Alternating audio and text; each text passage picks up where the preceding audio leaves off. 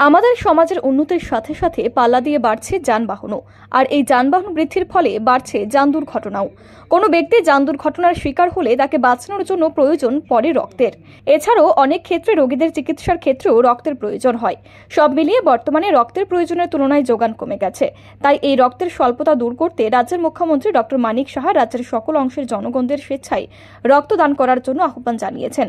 আর মুখ্যমন্ত্রীর আহ্বানে সাড়া দিয়ে রাজ্যের বিভিন্ন সামাজিক সংস্থার পাশাপাশি সরকারি দপ্তরগুলো এগিয়ে এসেছে। আর মুখ্যমন্ত্রীর এই আহ্বানে সাড়া দিয়ে এগিয়ে এলেন খোয়াই এসডিএম অফিসের রিক্রিয়েশন সোসাইটির কর্মকর্তা এবং ত্রিপুরা ন্যায্য মূল্যের দোকান পরিচালক কমিটির সদস্যরা। শুক্রবার তাদের উদ্যোগে খোয়াই মহকুমা শাসক কার্যালয়ের কনফারেন্স হলে এক রক্তদান শিবিরের আয়োজন করা হয়। এই দিনের এই অনুষ্ঠানের উদ্বোধক হিসেবে উপস্থিত ছিলেন রাজ্যের তপশিলি জাতি কল্যাণ প্রাণী সম্পদ উন্নয়ন এবং মৎস্য দপ্তরের মন্ত্রী সুধাংশু দাস। অনুষ্ঠানে বক্তব্য রাখতে গিয়ে মন্ত্রী বলেন, উনিশশো বিয়াল্লিশ সালে দ্বিতীয় বিশ্বযুদ্ধের সময় যারা আহত হয়েছেন তাদের প্রাণ বাঁচাতে ভারতবর্ষে প্রথম ব্লাড ব্যাংকের সূচনা করা হয়। রক্তের মাধ্যমে অন্যের জীবন রক্ষা করার যে ধারা উনিশশো বিয়াল্লিশ সালে শুরু হয়েছিল, সে ধারাকে আমাদের আগামী দিনেও বয়ে নিয়ে যেতে হবে। এটা সত্যি অত্যন্ত আনন্দের যে রক্তদানের মতো একটা গুরুত্বপূর্ণ অনুষ্ঠান কোয়াই সাব ডিভিশন অফিস এবং অন্যান্যরা মিলে এই অনুষ্ঠানের আয়োজন করেছেন। ব্লাড ডোনেশনের গুরুত্ব কি? কেন ব্লাড ডোনেশন করা হয়?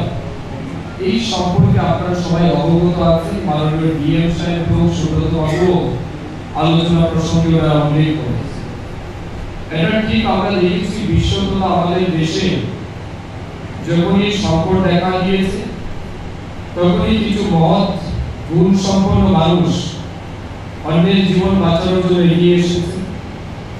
এবং ভারতবর্ষের ইতিহাসও আমরা যতটুকু জানি, দেখেছি যে উনিশশো বিয়াল্লিশ সালে যখন দ্বিতীয় বিশ্বযুদ্ধের ভয়াবহতা ছিল, তখন আমাদের ভারতবর্ষে প্রথম ব্লাড ব্যাংকের সূচনা হয়।